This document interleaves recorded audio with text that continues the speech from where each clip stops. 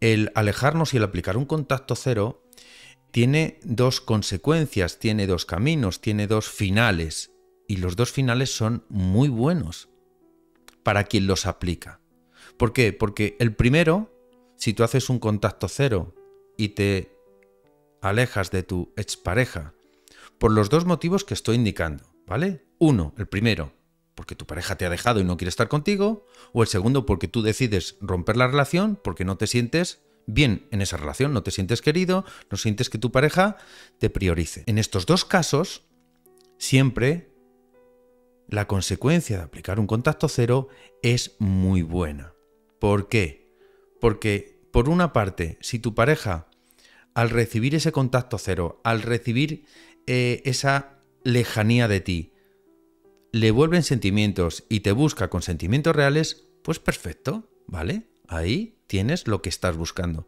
Y si tu pareja no vuelve, no regresa, no te busca, no le nace lo que le tiene que nacer, también es bueno para ti porque estarías saliendo de una relación que no es la tuya. Estarías saliendo de una relación, estarías perdiendo entre comillas, que aquí no se pierde nada, pero estaríamos perdiendo entre comillas a una persona que no te quiere. Y cuando perdemos algo, perdemos a una persona que no nos quiere, no perdemos nada.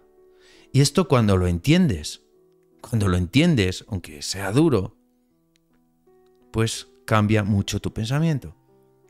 No perdemos nada. Si una persona nos quiere de verdad, va a estar ahí, va a volver, te va a buscar. ¿Vale? Ya está. Fin. Fin de la historia. Esto es así. Y si no lo hace, es porque esa persona no es para ti. Pues le deseamos o la deseamos lo mejor y que encuentre al hombre o a la mujer de su vida y que sea muy feliz. Porque aquí no deseamos mal a nadie. Vale, pero tú también tienes esa puerta abierta para que entre esa persona que sí va a ser tu persona, que sí va a ser para ti.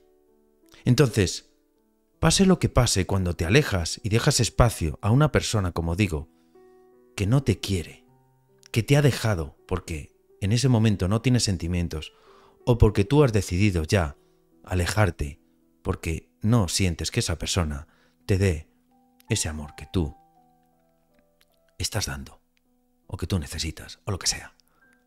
Te alejas, pase lo que pase. Va a ser bueno para ti. Entonces, cuando esto lo ves así, lo ves todo de otra manera. Lo ves todo de otra manera. Tranquilidad.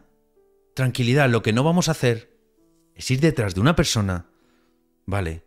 Que no tiene sus sentimientos claros, ¿vale?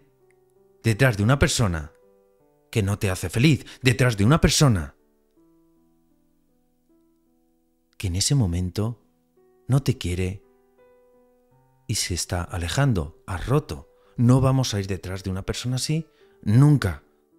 Y si hay que aplicar un contacto cero, como digo, toda la vida, se aplica toda la vida. ¿Por qué? Porque si esa persona te quiere, te va a buscar. Porque si te quiere, piensa en ti y no te busca, ya esto es su problema. Él o ella sabrá lo que hace.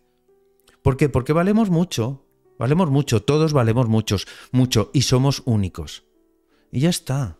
Y como digo siempre, va a tener todo lo que le dé la gana, pero a ti te pierde. A ti no te va a tener.